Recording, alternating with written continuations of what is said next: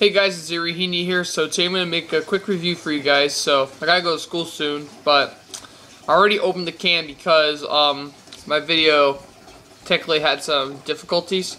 So um, I'm going to do a review of something I've never really had in a can before, but I've had in a 20 ounce bottle, and I remember not being a big fan of this flavor, so I'm going to try it again.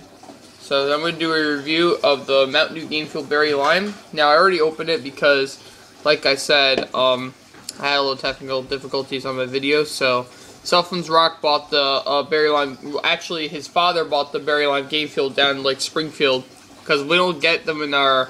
We don't really get them 12 packs, so I'm just gonna do a review. So, smell it. it. Smells a lot like Skittles. Not really a big fan of Skittles, but let's see what I think of it.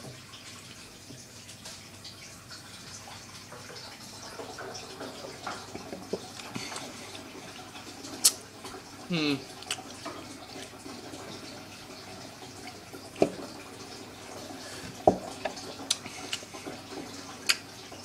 Yeah. I could really care less for this one. Not not the best. Um although I do have to say I think it does taste better in a can than it does in the bottle. The one in the bottle just tastes ugh. The one in the bottle just tastes nasty. But so, um, I think I'm going to rate this probably a maybe a three out of five. I think it tastes a lot better in a can than it does in a bottle.